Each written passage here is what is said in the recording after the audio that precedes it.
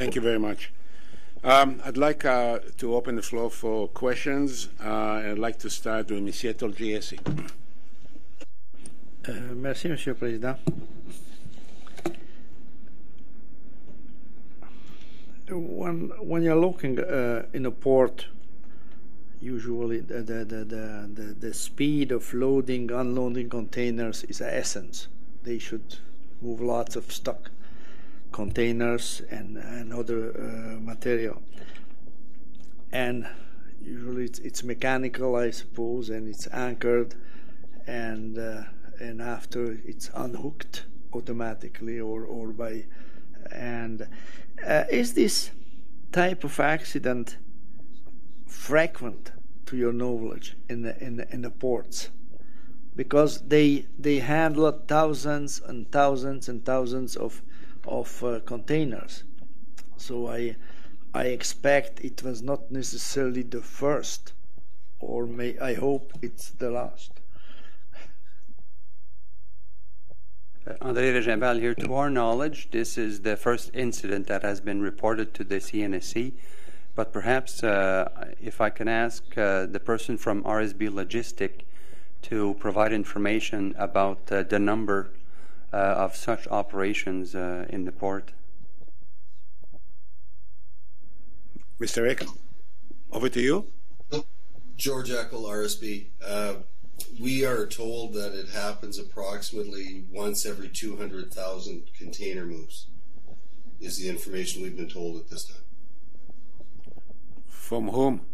Who told you? The, where is this information coming from? This is information directly from the Port of Halifax. So when you say I don't know how many containers the, the Halifax port is handling, but if it's every 200,000, that means the, there is, I suppose they handle more than 200,000. So it's several times a year it happens. Uh, do you have, uh, independently on what was in this incident, accident involved, it was hexafluoride, but for other material, do you have any any uh, maintenance, inspections, tests, and the frequency of uh, uh, procedure revisions? I'm sorry, could you clarify the question? I guess we have regular maintenance, inspections, recertifications for our owned equipment, the flat rack. But as far as the, the port equipment, no, we do not. Okay. Uh, it was mainly uh, uh, mainly for port facilities because that's their equipment. It's not yours. Yes, that's correct. And you, to your knowledge, you don't know what's the procedures and uh, what's the frequency of maintenance of this uh, uh, equipment. We've asked for the maintenance records and service records of the equipment and are still waiting for that. Okay. When you look, it's uh, uh, does the cargo hold con uh, contain only one or several layers of flat racks? Several layers. Uh, could you tell me what's the maximum lift of container, more specifically flat racks, when loading on unloading? Because here it was a seven meter drop into the vessel cargo hold on the other layer. Uh, is it possible that at one point the potential drop will exceed 9 meters as you move it up and you move it to to the dock uh, uh, and uh, that the potential drop will exceed 9 meters therefore overpass the regulation the regulation designed drop limit if I could pass that question to one of my colleagues, Mr. Clausen. Uh, as far as the positioning of the containers on the vessel, he could comment on that. At this time, I would not uh, be able to give a, an exact answer on that because uh, that's something I'm not familiar with. I'm not uh, on the terminal. I, I, don't know the operations of a terminal and the height that they lift. I have the same question, and uh, but at this time, I don't have an answer. Can I can I uh, piggyback on this? Um, what I'd like to know is whether there are specific instruction or regulation on uranium on this particular material that indicate to the port authority thou shall not lift this box above nine meters is there such a regulatory or procedural requirement I will ask Mr. Sylvain Faille to provide information on that. Sylvain Faille, for the record, uh, actually the regulations don't require any, or there's no limitation on the on the height for the lifting. The regulations were designed for transport purposes, and the nine meter drop, which is specified in the regulations for those packages, is to simulate a, a road accident at a, a, certain speed. But the the other important part is the target where the the, uh, the package has to be dropped onto which is defined in the regulations as unyielding surface, which is extremely hard compared to like road or even concrete. So th- there is some compensation there in terms of the drop height is nine meter as a set uh, level, but the uh, the surface onto what it has to be dropped onto uh, is much more stronger in the regulation than what is happening in the, in normal accidents. But to answer the question, there's no limit on the on the on the height when it's lifted. It's not nine meter or anything like that. Mr. Jesse?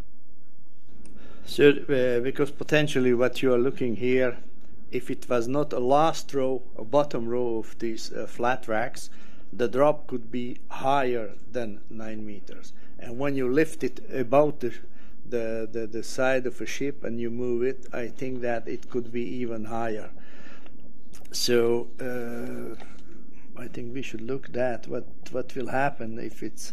We should review this. Uh, the other question is, I have.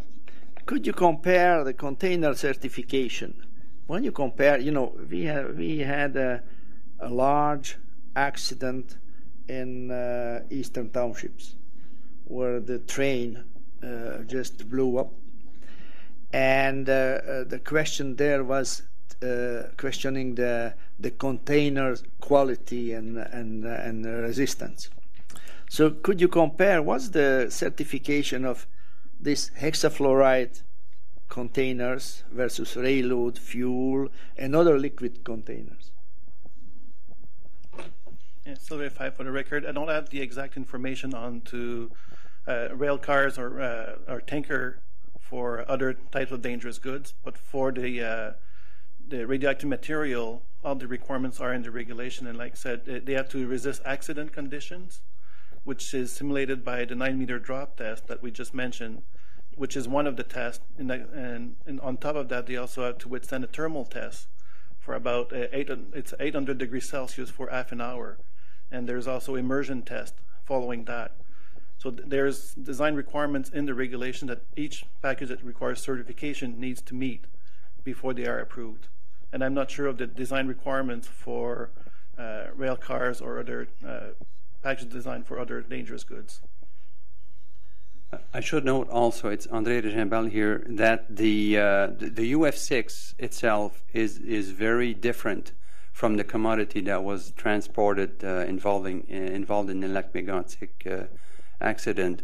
Um, and I'll ask uh, Mr. Michael Rinker to provide just an overview of the physical and chemical characteristics uh, of UF6 as it is packaged. Mike Rinker for the record. Um, the Port Hope conversion facility makes a very similar product and stores it and, and uh, um, transport it in similar ways. Um, the product UF6, um, once it cools to uh, normal ambient temperature, is a solid. Um, it's uh, um, it's not flammable on its own. It can. It's an oxidant, so it can make other things burn. Um, but I guess the one of the major risks for exposure to UF6 would be more of a chemical nature. Even the uranium itself is more of um, its risk is more of a heavy metal than uh, than it is from the dose perspective, and uh, if it gets wet, um, then the fluoride can combine with um, with water and other things and, and, be quite corrosive to the skin. So it's, it's um, it, its risks are associated more of a, of a strong chemical hazard, um, but it is uh, in the form that it's being transported in. It's, it's in a solid form, so if the um, container were to break, it could be cleaned up. Um, if it were to get wet, then it's a little bit more difficult. These cylinders are not under pressure or under uh, negative pressure. Uh, Mike Ring for the record, they're under negative pressure. So, uh, if if an accident happens, for any reasons, it could the the, the, the, the containment could blow out. Uh, when I say blow out, I uh, Actually, I think it's the opposite. If it was under positive pressure and it breached, it would blow up. Under negative pressure, some it would be the opposite. and uh, these uh, cylinders. What's the life of these cylinders, and what's the life of uh, the overpacks, and how the overpacks are certified also because we have a certification for these cylinders. But how uh, is the overpacks are certified, and when you combine them, because that's when you know uh, when there is a drop, uh, we could see what will happen. Yeah, Sylvain Faille. Actually, the uh, what is certified is the uh, the overpack with the cylinders. That's the package, and that is what is certified under the CNSC. The cylinders themselves also need to be uh, approved under the ANSI standard, which is a, a, different one, and that only combines for the looking at the cylinders themselves. But uh, on our end, we're looking at both the overpack plus the cylinder. That's the package, and that is the combination that we are certifying. And as part of that, they have regular maintenance on, done on those packages, including the cylinders and the overpack. And that, that is uh, under uh, regular maintenance. Perhaps RB Logistic could provide more information on actually the, uh, the frequency of inspections. And the uh, the certification process uh, is is a, a rigorous uh, technical review of the design uh, of the the package and the cylinder, and the uh, review is performed by accredited professional engineers at the CNSC, uh, who follow the ANSI review against their ANSI standard and other industry standard, and based on expert judgment. Okay, there's going to be another round. Um, so let's move on to Dr. McEwan. Thank you, Mr. President. Um, can, can, I just be clear about the sequence? The, um, the accident happened, the first responders would notify the company RSB and the CNSC, or did I hear that you said RSB was notified and then CNSC was notified? So if I, am not sure exactly the order, the exact order, but I know the first responders called CANUTEC, which is the service, uh, emergency service from Transport Canada, and RSB Logistics was also con- uh, notified. I'm not sure who was notified first on the two, but it was probably very close one to the other. From the CNSC, we were notified through the uh, Transport Canada CANUTEC service, who have a direct line with our duty officer. So there wouldn't be an expectation for a radioactive package that CNSC would be notified as one of the first notifees, notif- people to be notified? Uh, it, it could happen, but normally the first responders are trained when there is a transportation accident uh, to contact CANUTEC first, and then CANUTEC would contact us, and this occurs very rapidly. And the time between CNSC being notified and the inspector being on site was how long? Just getting my notes. We were notified um, on the evening of Mar- well, Sylvain, can, Martin, can you? Uh, excuse me. Martin Thériault uh, will provide the exact detail. For the record, uh, Martin Thériault, uh, transport officer with CNSC. Uh, we were notified by uh, CANUTEC through the duty officer on uh, the Thursday evening at 10 o'clock, and uh, was on site at 4 p.m. Uh, the following day. Uh, I was in Halifax. That seems a long time. The situation was under control through the night uh, the first responders uh, established a safe perimeter around the, the, the vessel. Um, at that point, it was difficult to see if there was any leakage from the containers, but the radiation level measured at six meters from the packages indicated that uh, uh the radiation level was normal. Uh, once we uh, got in on the Friday morning, we organized ourselves to dispatch Mr. Thériault to Halifax and uh, the first flight that he could hop onto was at 1 p.m., I believe, or or there uh, around that time from Ottawa. So as soon as he got on site, then he uh, immediately uh, went to the, the port.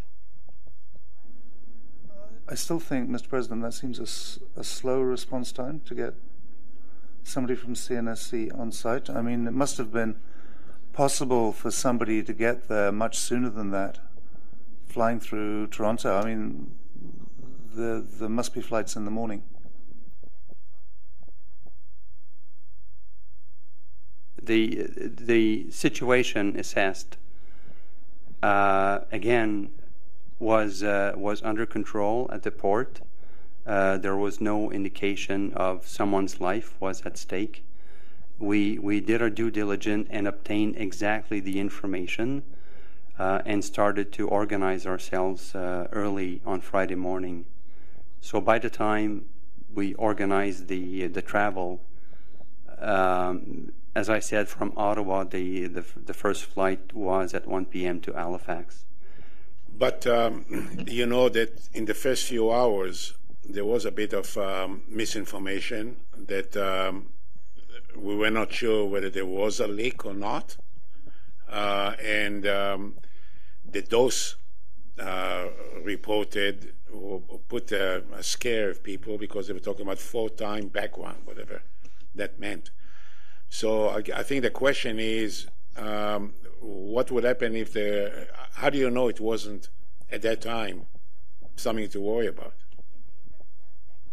Uh, perhaps I can clarify that we were we were assisting from remotely from Ottawa early on, okay, so we were providing assistance to to the people on site who were conducting the, the first response. Um, we would get uh, worried if uh, radiation levels were above what what uh, it would be normal for this type of transport or if there was a spill, a confirmed uh, spill.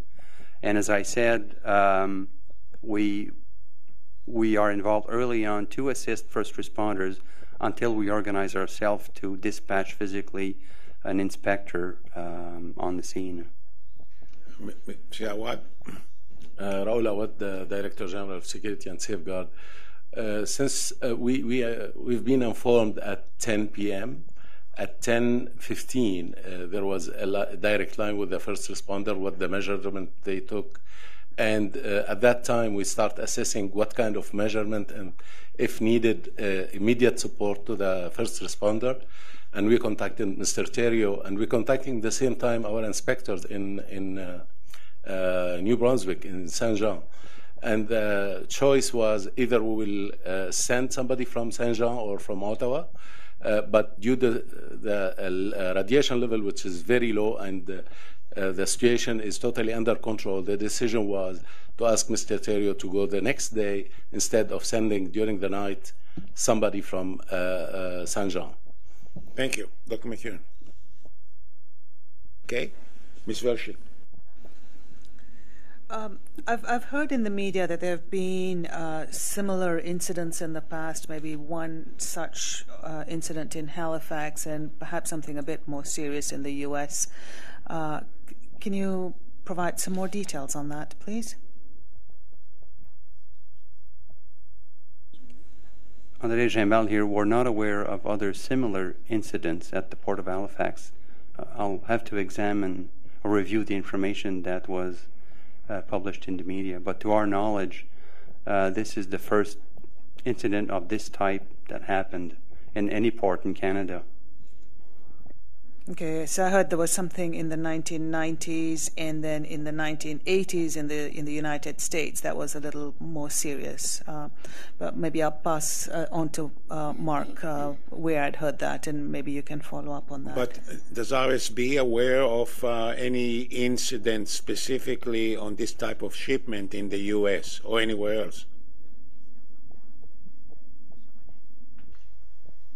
George Eckel, for the record. No, I am not aware of any similar incidents with similar cargoes. Thank you. Ms. Velshi. Um, on uh, slide uh, 24, where you uh, talk about uh, how all the things worked. Um, have have there been areas of improvement that you have identified? The things that could have worked better. We've heard uh, about some early miscommunication, and it seems like there is still a bit of public angst about was there a leak? Why were the dose rates higher? Um, so, if you can uh, maybe shed some light as to uh, you know what what what are some of the learnings from here, and um, how could things have uh, been better communicated? In particular?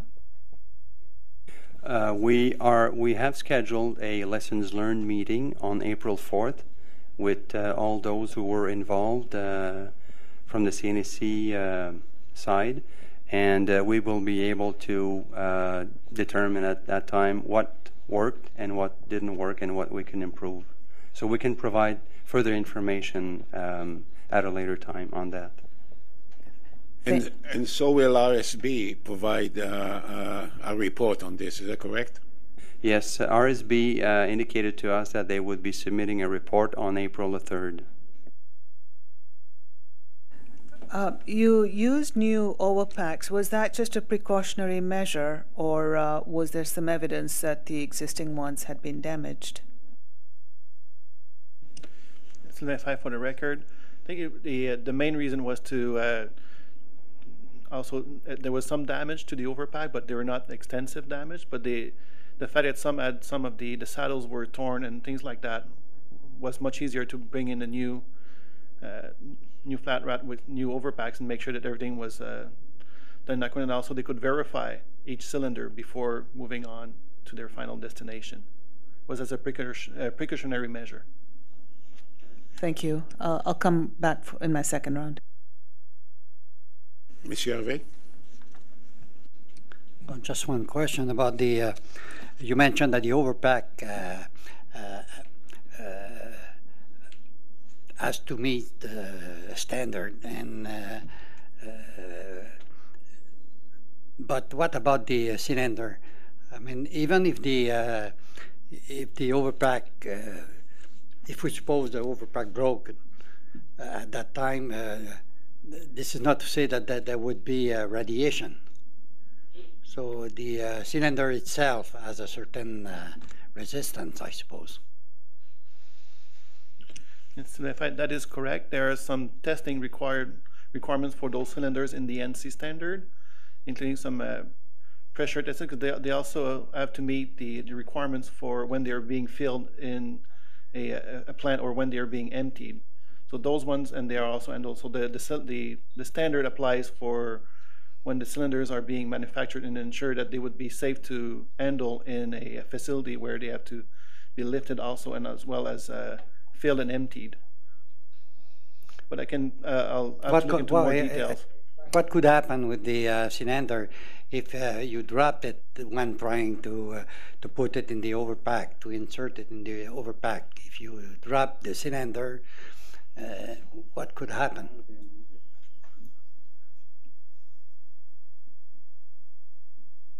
This this is the uh, the loading in the overpack occurs within the facility. Um, Mr. Rinker might have some additional information, or otherwise we would we would get back to you on that. Mike Rinker, for the record, I have to get back to you on that one. Okay, thank you. Thank you. Any other question? Anybody else? Ms. Velshi? Uh, you mentioned the first responders get trained. Who, who trains them?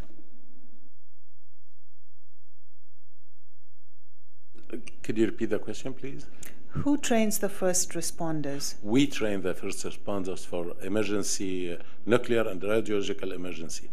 And it, we give the training for the first responder all across Canada under the uh, CBRNE program, which is uh, chemical, biological, uh, radiological, and nuclear uh, program.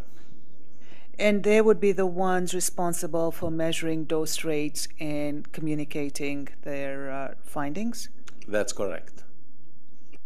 So that will be part of your review as well, then, on how well that happened. Um, the so, so, just to conclude on this question, so are you happy with I, I think the first responder was the, the fire authority in the port, if I, if I understand correctly. And that's, those are the people we're That- talking about? That's correct. Yeah, the hazmat team at, at Right, and I thought they Port. did a, a good job uh, on everything besides communicating with the press. Uh, So are- are you satisfied that they actually, Actually, they did exactly what we expect them to do. They are the first responder. They are the first to, to be on the scene of that accident, taking measurement and inform the authority. I know, but uh, I, I thought one of the first um, um, observation is to assess whether there is safety and risk to the public. And I don't think they've, um, in fact, everything they've said about uh, the dose and uh, the hazard was uh, not, uh, let's put it this way, um, assuring the public when they didn't have all the information. Uh, actually, they, they, uh, when they give uh, to the media, they give it as relative to the background radiation, which is not the right way to do it. And, and that's something we need to maybe adjust in our training. Hershey. Uh, my last question was around uh, port operations. In uh, slide 25, you say it was perfectly safe to work around the packages, uh, and I and this determination was made when the inspector went on site this uh, the next day. Uh, so why did it take the port some a couple more days before it it uh, resumed operations? Martin Thériault, for the record. Uh, the decision was made by the uh, terminal authority uh, or terminal operator based on the assessment done by the uh, radiation expert that was uh, hired by, by them. So they wanted him to confirm that uh, no level of radiation were uh, detected on the surface of the container, and that's when they had sufficient insurance that there were no loose contamination on the surface of the container. And also, they wanted to safely remove the uh, container from the uh, cargo hold before to resume uh, operation because it was still a small risk of uh, an incident happening because the cylinder were not affixed the, the way they were normally be affixed to the container to the, the flat rack. So they want to mitigate the risk having less people go around when there's uh, still an emergency uh, a, a an incident scene on, on board the ship Thank you.